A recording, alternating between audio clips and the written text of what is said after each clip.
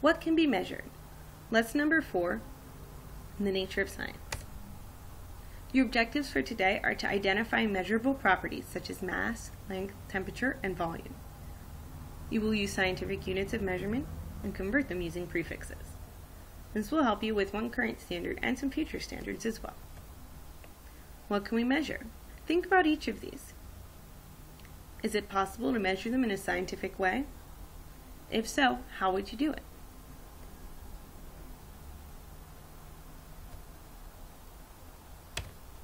Yes, you can measure how far you are from the extant office. Can you measure how much space your body takes up? Yes, that's actually possible.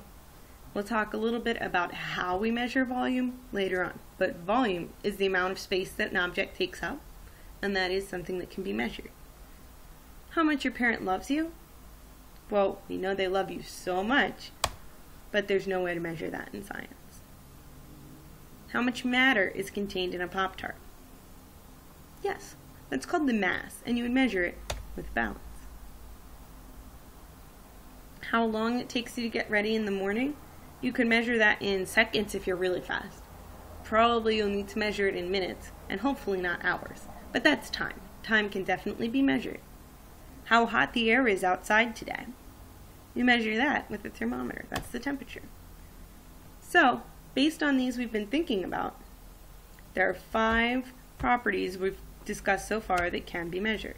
Length, volume, mass, temperature, and time. We use the system of measurements in daily life in the U.S. We might measure length in inches or miles. Mass, we'll usually measure weight instead, which is a related idea. Weight is how heavy something is due to gravity and its mass. Mass is just the amount of matter in something. So in daily life, we'll usually talk about the weight of something in ounces or pounds, but in science, we're going to speak about mass. As long as you're on Earth, it is possible to convert between weight and mass easily. If you go out into space, your weight will be zero and you'll float free, but your mass will be exactly the same as it was down on. Okay? Temperature in everyday life we use degrees Fahrenheit. In science we're going to use Celsius. And volume in daily life people tend to flip back and forth. Sometimes they use, you know, this many cups or this many ounces of volume, and sometimes they use liters. In science we're always going to use liters. So scientists measure the exact same properties that we use in daily life, but sometimes they use different units. That's so that scientists all over the world can agree and use the same units and not run into any trouble trying to understand how many miles something is in a country where everyone uses kilograms. I'm sorry, kilometers. So, either way, all countries agree that scientists will use the same measurements, and those are the measurements that we'll look at as well. This chart explains the name, symbol, and a comparison for each scientific unit of measurement. For length, that unit is the meter with symbol M. And if you want to think about a meter, compare it to a baseball bat. That's about one meter long. Mass will measure in grams with the symbol G. A nickel's mass is one gram, so if you bounce a nickel around on your hand, you can feel that one gram is very light. Temperature in science will use Celsius. Degrees C is the symbol. Water freezes at 0 degrees Celsius and boils at 100 degrees Celsius. Volume is measured in liters. As I said, we do use that sometimes in daily life in the US, although other times people use cups, ounces, quarts, and things like that. For comparison, a large soda bottle, like the Sprite bottle you see here, is 2 liters. So half of that would be a liter.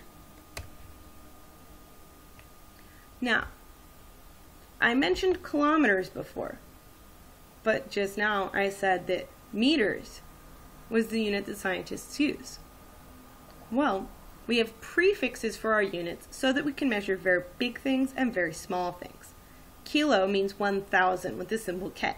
One kilometer is 1,000 meters, better for measuring very large lengths, like the length of, let's say, the Pennsylvania Turnpike from Pittsburgh all the way to Philadelphia.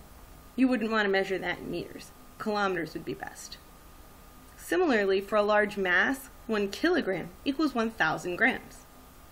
What if you want to measure smaller things, even smaller than a meter, even smaller than a gram? Well, then you could use the prefix centi. Means 0.01 or 1 hundredth. The symbol is C. For example, 1 centimeter equals 1 hundredth of a meter. Milli means 1 thousandth or 0.001. The symbol's M. 1 milliliter equals 1 thousandth of a liter. One millimeter equals one thousandth of a meter as well. So I'm going to ask you to think about this. If one milliliter equals one thousandth of a liter, then how many milliliters are in a liter? First, you're going to write out the equation that you know based on the prefix. 1 milliliter equals 1 thousandth of a liter. Next, you multiply both sides by the same number to get the units you need. You can multiply more than once if needed, depending on what answer you're trying to get. Here's an example. We want to know how many milliliters are, is in one liter. So we're going to multiply both sides by 1,000. On the left, 1 times 1,000 equals 1,000 milliliters. On the right, 1,000th times 1,000 equals 1 liter. So we see that 1 liter equals 1,000 milliliters. Here's a second example. Let's say you measured a room that is 6.5 meters long and you would like to know how many centimeters that equals. 1 centimeter equals 1 hundredth of a meter. We're going to multiply both sides by 100. On the left, 100 centimeters. On the right, 1 hundredth times 100 equals 1 meter. Now, we want to know about the room though, and the room is 6.5 meters long. So let's multiply both sides by 6.5. On the left, 100 times 6.5 equals 650 centimeters. On the right, 1 meter times 6.5 equals 6.5 meters. So the room is 650 centimeters long. Okay, that's it for today. Here's a quick wrap up, and I want to point to you a resource if you need it. We measure properties such as length, volume, mass, time, and temperature in daily life and in science. Scientific measurements are given in specific units for easy comparison. Adding prefixes to the units allows us to measure very small or very large amounts we can use the definitions of the prefixes to convert between units. Want to read about this on your own?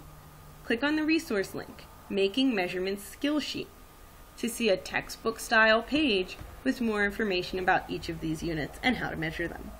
Make sure you answer every question on the quiz below to get full credit for watching today's lesson.